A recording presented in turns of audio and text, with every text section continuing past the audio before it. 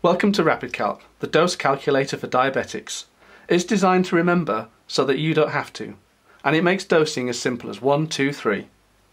RapidCalc lets me store three basal doses per day with optional reminders. When my dose is due, I'm automatically taken straight to this screen with my scheduled dose preset. In fact, I can enter the dose two hours either side of the scheduled time. Then I just save. At the top of the screen, is the calculation area. It shows the suggested dose broken down into its three components.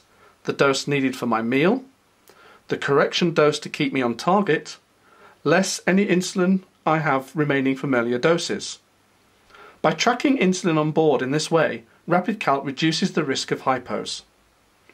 RapidCalc is personalised for you.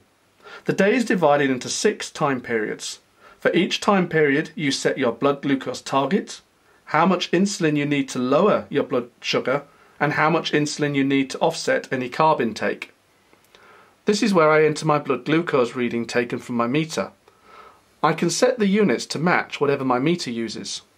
Measurements are entered by sliding and tapping. This is where I enter the carbs for my meal using the same technique. I'm working in 10 gram portion sizes but RapidCalc lets you select grams or portion sizes of 10, 12 or 15 grams.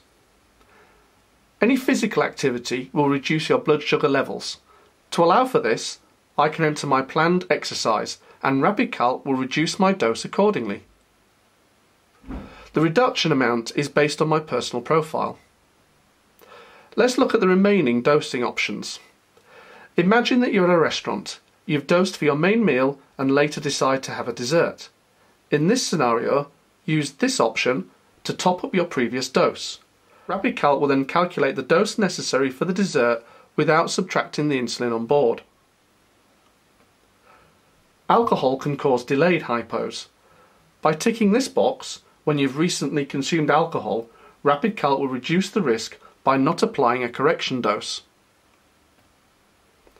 If you recently recorded a hypo blood glucose reading, then RapidCalc will automatically select this option to reduce your risk of a second hypo. It does this by removing the correction dose again. As you save the record, the suggested dose will be rounded to the nearest achievable dose for your pen. You can either accept this as your actual dose or use the slider to adjust as needed and edit, add any notes that you feel are appropriate. If you're having trouble estimating carbs, it can be helpful to use this feature to photograph the meal to discuss with your healthcare professional.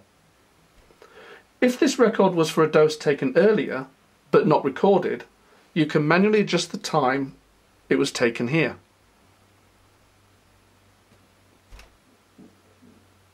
Once you confirm the record, it is entered into your history.